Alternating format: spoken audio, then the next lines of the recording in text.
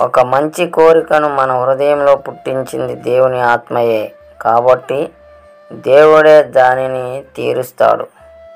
మొరపెడుతున్న మనలో ఆయన జీవం ఉంది. కాబట్టి ఆయన మన మొర ఆలకిస్తాడు.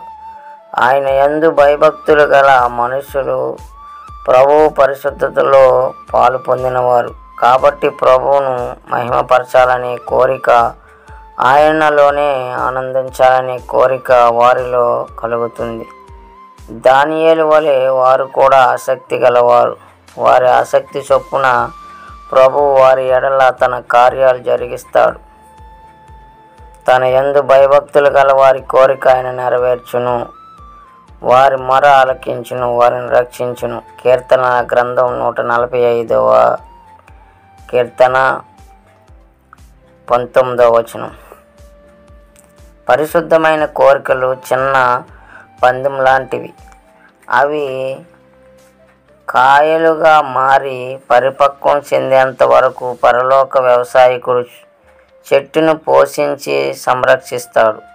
దేవుని యందు భయభక్తులు గలవారు తాము పరిశుద్ధంగా ఉండాలని ఇతరులకు ఆశీర్వాదకరంగా ఉండాలని ఆ విధంగా ఉండి ప్రభువును మహిమాపరిచేవారిగా ఉండాలని కోరుకుంటాడు. వారి అవసరాలు తీర్చబడేటట్లు వారికి కొన్ని వస్తువులు కావాలి. భారముల క్రింద నలిగిపోతున్నప్పుడు వారికి సహాయం కావాలి. దిక్కుతోచని స్థితిలో వారికి నడుపుదల కావాలి. నిరాశలో వారికి విడుదల కావాలి. కొన్నిసార్లు వారి అవసరాలు చాలా బలంగా ఉంటాయి. అందుకు వారు చెప్పే కారణాలు కూడా కాదనలేనివిగా ఉంటాయి. అందుకే వారు చిన్న పిల్లల్లా గట్టిగా ఏడ్చి ప్రభు సన్నిధిలో మొరపెడతారు. అప్పుడు దేవుడు తన వాక్యంలో వాగ్దానం చేసినట్లుగా వారి మొర ఆలకించి అన్ని విధాలుగా వారికి సహాయం చేసి వారిని రక్షిస్తాడు.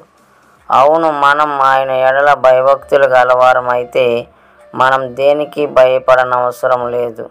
మనం దేవునికి మొర పెడితే ఖచ్చితంగా మనకు రక్షణ దొరుకుతుంది. తన యందు భయభక్తులు గలవారి కోరిక ఆయన నెరవేర్చును. వారి మొర ఆలకించి వారిని రక్షించును. ఈ మాటలను మీ నాలుక మీద రోజంతా ఉండనివ్వండి. అది మీకు తేనెలో ముంచిన రొట్టెలా రుచిగా ఉంటుంది. ఆమెన్.